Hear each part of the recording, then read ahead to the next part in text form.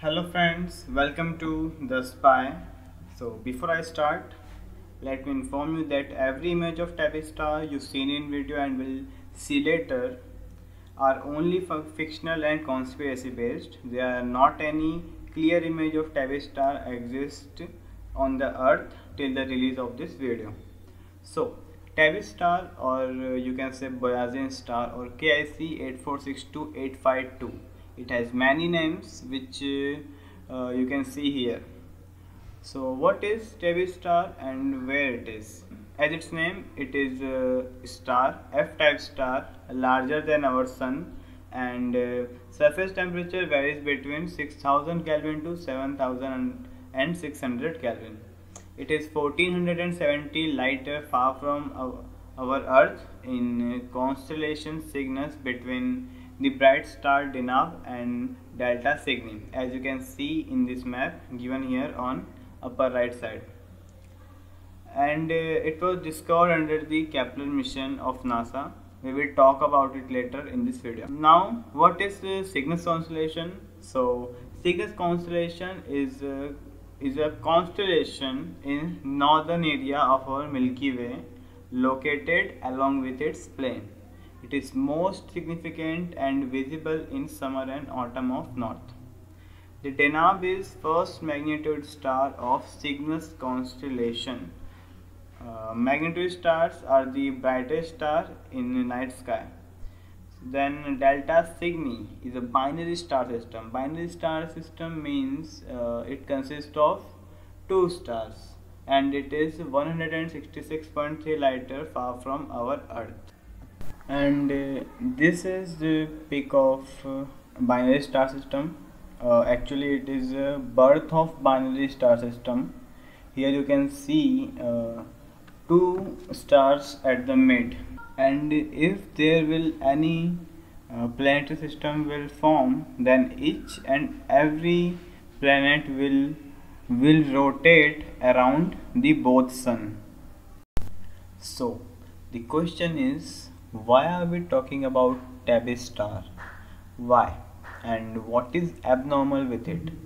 So, on 27 January 2016, Tabetha Boyajian, an assistant professor of physics and astronomy at LSU Louisiana State University, published a document under the Planet Hunters Citizen Scientist Group. Planet Hunters is a citizen scientist research group of Zooniverse and the Zooniverse is the largest and most popular people-powered research platform. So the document was a research paper of four-year duration in which she, uh, means Tabetha Boyajian, firstly described that KIC 8462852 showed shows irregular brightness dimming patterns. There are many dips in its brightness which are abnormal with respect to time, duration and brightness level. But uh, there are almost every star shows dimming in brightness. So why it is abnormal here? So dips in brightness of a star is more regular at certain level when it happens at specific time duration with specific loss in brightness for example, scientists of Max Planck Institute revealed that this sunlight is reduced by 5 times in past 9000 years. It is also reported by Kepler Space Telescope.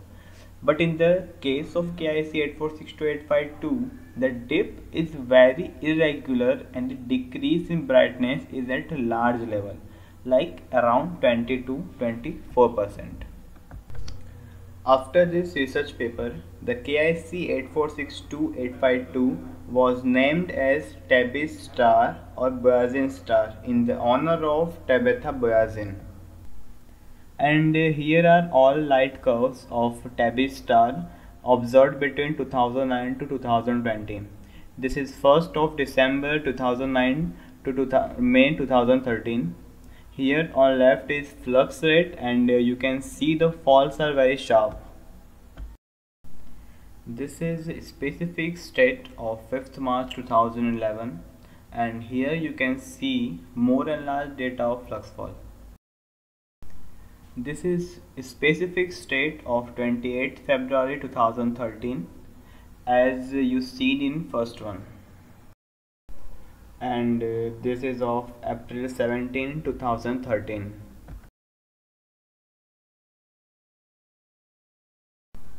and uh, this data is of May 2 2017 to May 4 2018 and this last one is of October 2019 to Jan 11 2020 and this one is consolidated plot of all non-dimmings till March 2020 and here you can clearly observe the irregularity in both the time duration and brightness level.